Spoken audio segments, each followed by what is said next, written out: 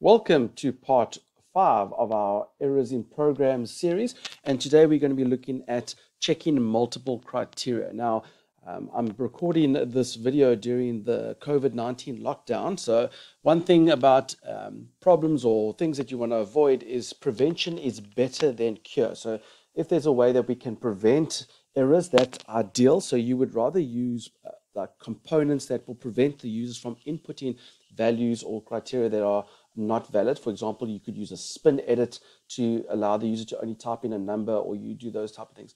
But at some point, you're going to have criteria that you can't necessarily prevent that you've got to check.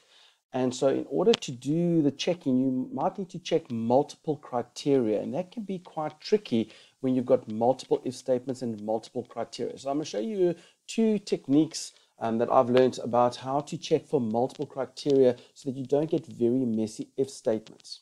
So what we would have done in the past, let's say you've got a whole bunch of criteria and there's three criteria that you need to meet. You would traditionally try to use an if statement to check the first criteria and then the second criteria and then the third criteria. And if those are all three are true, then you can do what you need to do. The problem is sometimes those criteria are quite intricate in the amount of coding that needs to happen and what needs to happen in between. You need to do a whole bunch of like manipulation, and sometimes it's very difficult for you to try to fit that all into multi, in one if statement.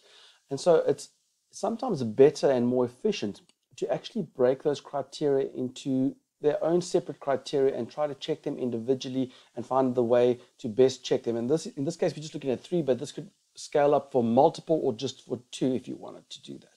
So let's have a look at the two different techniques. The first technique I want to talk about is the flagging technique.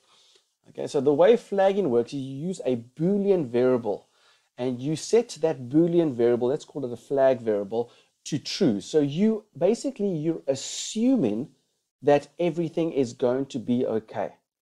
And what you're then going to do is then you are going to check for every time when the criteria is not passed. So you aren't checking if the criteria is true. You're going to check when the criteria is not being met. So you're actually checking the opposite of the criteria. So if they want you to check if all the marks are above 50, you're going to check if all the marks are less than equal to 50. So you're going to be checking the opposite of what the criteria is. So let's say we take the first criteria. We're going to check if that criteria fails. If criteria one fails, then we will set the flag to false for that particular criteria. We won't say else true because we already set the flag in the very beginning. We initialize it almost to true. For this, we simply check criteria one. If it fails, we set that flag to false.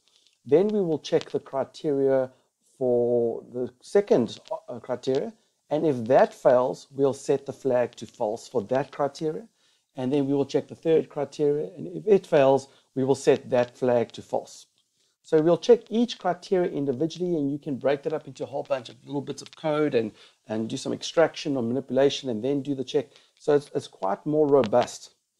If we get to the end of this section of code, if we get to the end of all the checks, if the flag has still remained true, if it has never changed to false at one point, even though we checked when the criteria fails, that means it passed every single one of those criteria. If it failed one of them, it would have changed to false and it would have stayed false because we didn't revert it back to true. So if we get the flag to be true at this stage, right at the end of checking all the criteria, then we know that it passed all the criteria and then we have a success. And if it's false, then obviously one of those criteria failed. Okay, so that's the technique used when we are doing flagging.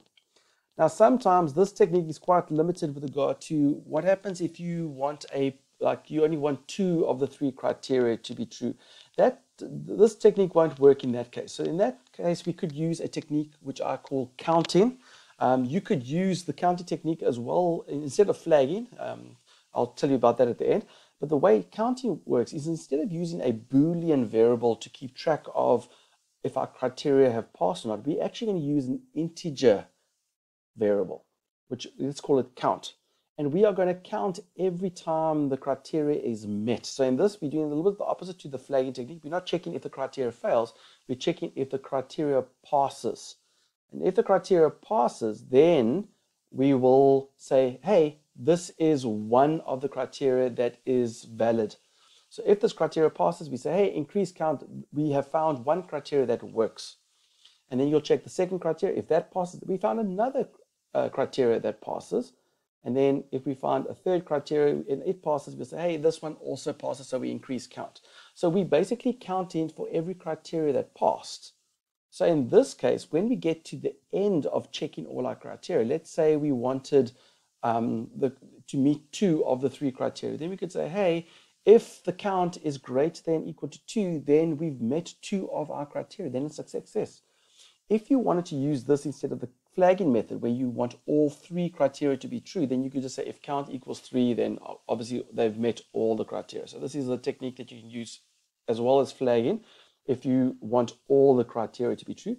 But this one's a little bit more robust when it comes to allowing you to check multiple criteria and say, hey, we only need two of the three criteria to be true and so on. And so those are the two techniques that I would suggest um, using when you've got multiple criteria. It breaks it down into little pieces which are a lot more manageable. And so that way it can help you try to catch any areas that have got lots of different criteria. In our next video, in uh, video six, we're going to be going through two examples of these where you can actually see how that actually works. So go along to that video and we can show you how to do that. Okay, for more videos on this series, as well as that video that I just spoke about, the part six, you can go to our YouTube channel, you can subscribe, um, you can like us on Facebook and Twitter, and you can give us feedback about what you like. And remember, don't do it the long way, do it the Mr. Long way.